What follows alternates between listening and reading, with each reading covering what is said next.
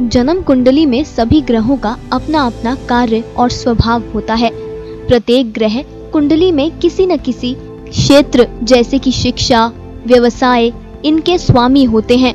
जन्म कुंडली में शरीर की जो बनावट होती है, उसका प्रत्येक अंगों पर ग्रहों और राशियों का अलग अलग प्रभाव पड़ता है।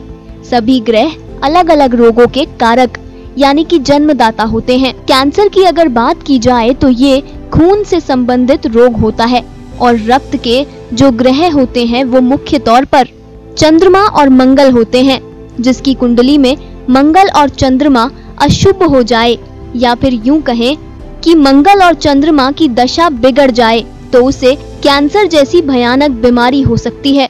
उदाहरण के लिए चलिए आपको सोनाली बेंद्रे की कुंडली दिखाते हैं। सोनाली की कुंडली के अनुसार इनका मंगल राहु के साथ विराजमान है। जो कि एक भयानक बीमारी या घटना को जन्म देता है। साथ ही इनकी कुंडली में मंगल की महादशा भी चल रही है, जो कि मार्केश के समान हो सकती है।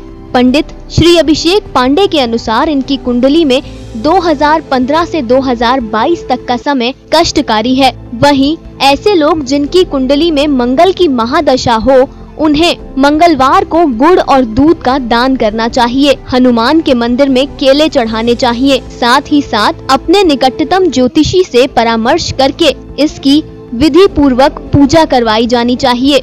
कथा सागर, डेस्क रिपोर्ट।